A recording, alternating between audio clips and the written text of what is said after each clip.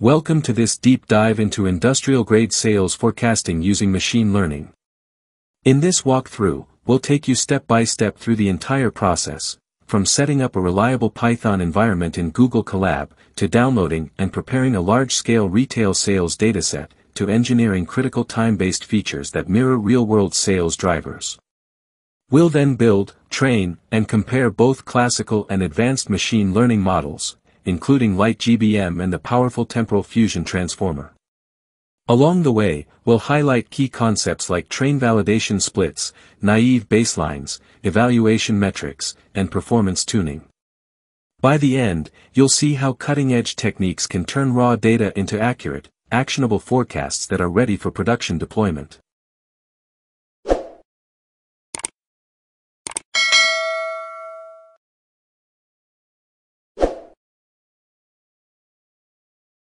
Here, we see the initial setup stage of our sales forecasting project using machine learning in Google Colab. The cell executes the installation of all required Python libraries, including datasets, spec, Hugging Face underscore hub, LightGBM, Neural Forecast, and more.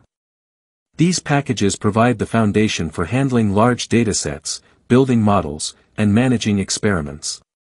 The installation process also updates any outdated dependencies to ensure compatibility and stability.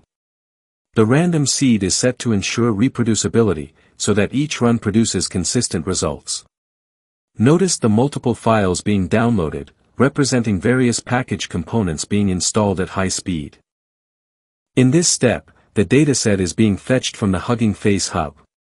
We use hf underscore hub underscore download to pull a CSV file named train.csv from the T4 Tiana slash store sales time series forecasting repository.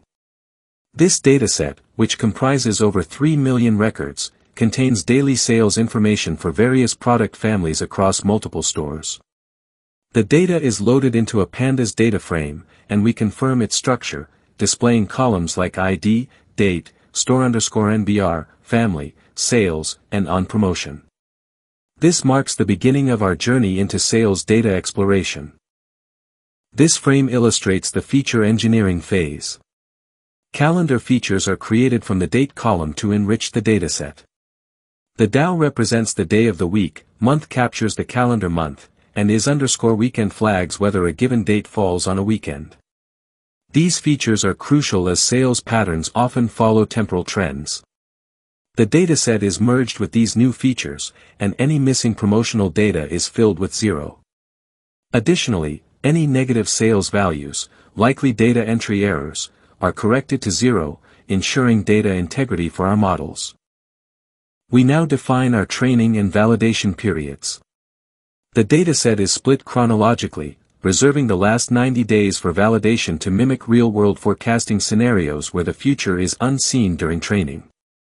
The training set spans from 2013 to mid-May 2017, while the validation set covers from mid-May to mid-August 2017. This method of splitting ensures no data leakage, allowing our models to be tested realistically on truly unseen data. In this slide, we define two key evaluation metrics for our models. The weighted mean absolute percentage error, or WMAPE, helps quantify the accuracy of forecasts relative to actual sales volumes, making it intuitive for business interpretation. The root mean squared scaled error, or RMSSE, adjusts for scale and compares predictions against a naive seasonal benchmark. These metrics ensure we evaluate our models robustly, focusing on both accuracy and stability. This image depicts the implementation of our naive forecasting benchmark. The model predicts sales for each store and product family as the sales from exactly one week prior. This simple yet powerful baseline allows us to gauge whether our machine learning models provide meaningful improvements. If sophisticated models can't beat this naive approach, their added complexity would not be justified in production. Here we introduce LightGBM, a gradient boosting model designed for high efficiency and accuracy. The model is configured with a Poisson objective, suitable for count data like sales.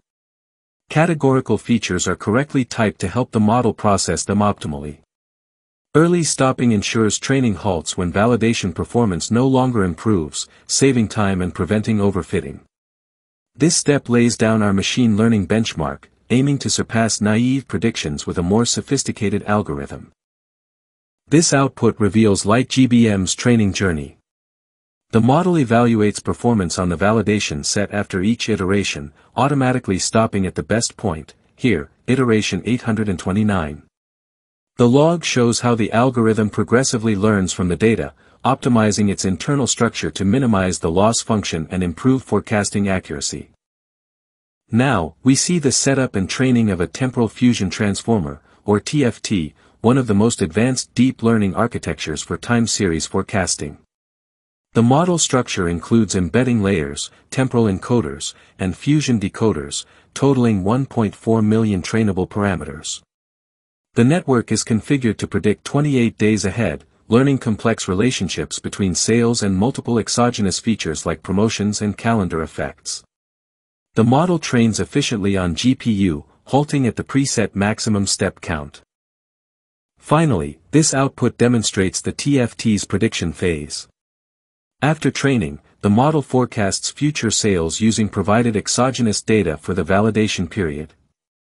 A warning indicates that some rows from FUTR underscore DF were unused, this is expected when only a portion of data matches the forecast horizon.